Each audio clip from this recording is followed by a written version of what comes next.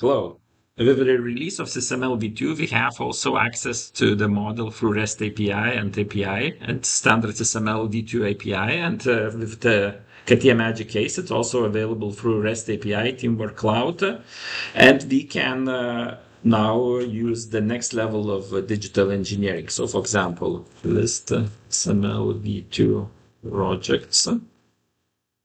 It's uh, not integration, but it is ability to access API from outside, and we can uh, do multi-tool uh, design with the help of that. So here, for example, we get um, multidisciplinary multi-tool design. So, for example, here we get projects list, right, of the SysML v2. And now we can say, okay, show get uh, requirements from the last commit of robotic arm testing project. You can stop previous effort and continue the new one. So we have requirements and we can say, okay, now let's uh, test the robotic uh, arm based on requirements. Uh, let's test uh, real robotic arm based on requirements. And now let's uh, switch on the video. Here we have robotic arm. Let's run the test.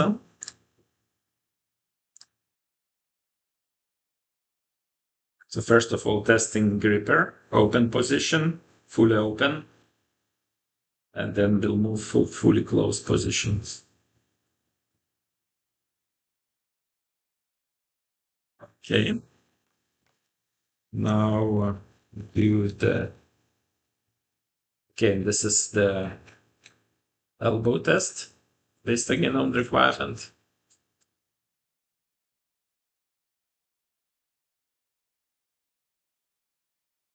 Okay, test it and uh, you know provide report. Okay, now do the do the test on uh, real uh, on uh, virtual robotic arm.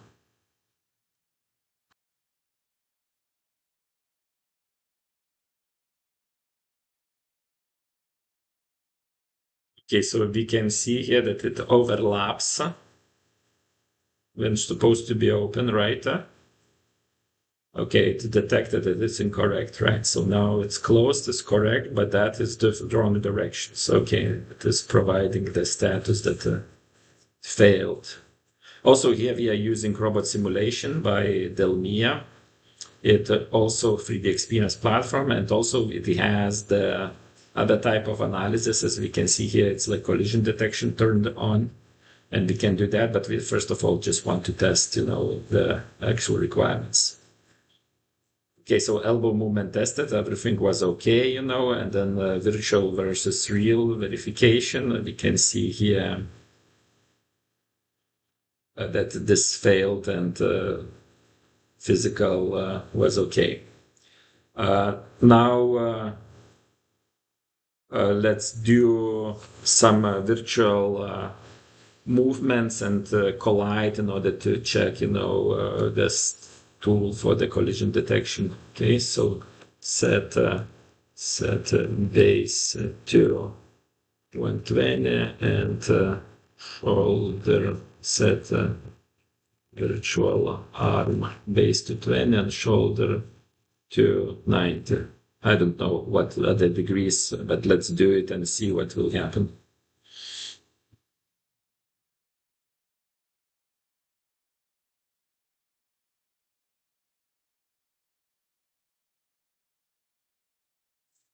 So it actually said that, but it was not uh, in the right direction, I think. So here we have it. Uh, okay, now let's do that. Uh, set the shoulder to zero.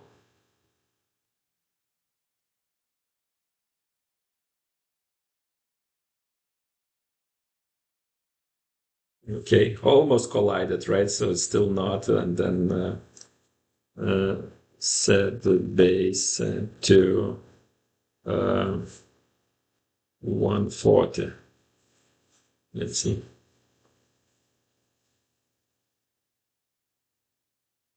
Yeah, you see collided and immediately identify that it's still collided. And every time you cross the boundary, you detect the collision and we can actually say set all joints to 90 to avoid collision and should stand still.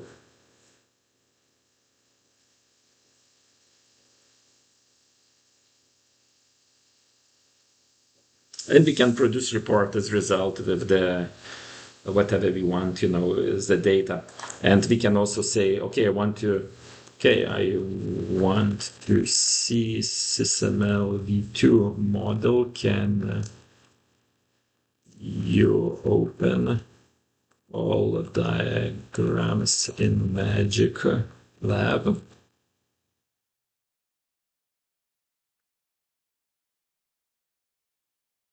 Magic Lab is also a capability and a separate tool which is released with uh, version 2026. It's a SysML v2 viewer.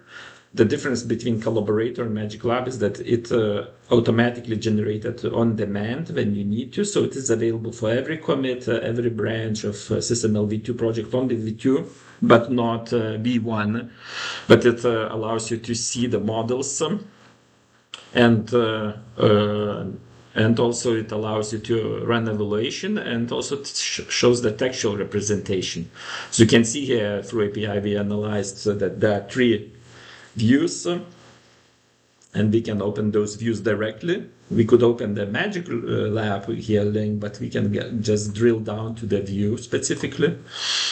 And here I'm opening it. And it opens exactly that view, you know, which so this is the table with requirements. And this is, uh, so we can go back uh, here to this uh, and open another one. This will be, so here we have the diagram and uh, you can, you know, zoom in uh, here and you can see here nice interface and those are the requirements from the last one. Also as i promised you can actually right click and open in textual specification everything. Uh, see the textual specification is at the viewer so that's not editor. Uh, but again also you can run you know evaluation here. So you see it's running uh, and uh, evaluated. So okay how the solution works. So here we have um, llm could be any llm could be ChatGPT or whatever. We are using Claude Desktop because this is the easiest way to connect uh, to the MCP servers.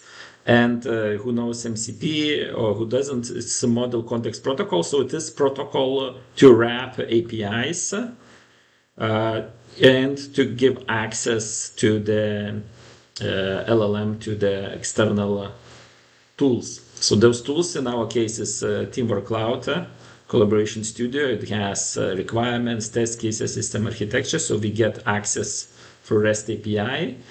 We have also robot arm. We get serial port and uh, we have access to actual robotic arm through the same um, uh, MCP model context protocol. And then we have uh, virtual access created to the robot simulation Delmia running. So as you can see here, we use FMI as the interface and on the LLM side is still still a standard uh, MCP, which in this case communicates to UDP, in this case to serial, in this case to the REST API. So for the user, it doesn't matter uh, what API is used. Uh, for user, is just uh, actual engineering, not uh, connection and integration. For users, seamless. As we can see here, we have MCP for SysML REST API, MCP for ARM, and then other MCPs like for this virtual robot simulation, and could be more. You know, stay tuned. Uh, we will share much more solutions uh, and uh, uh how this looks like from the LLM side. Uh, so let's say here we have developer mode settings and here in developer mode we can add configuration and we can add also uh, our connectors to different APIs so SysML v2 it's Python file robot arm it's uh, also python uh, because this is how the Claude consumes those mcps and then uh, virtual robotic arm also python file which collaborates collaborates with the different apis so, so those uh, files uh, are the only thing what you need to connect. Some of them out of the box. Some of them you need to create uh, because there was no mcp server available.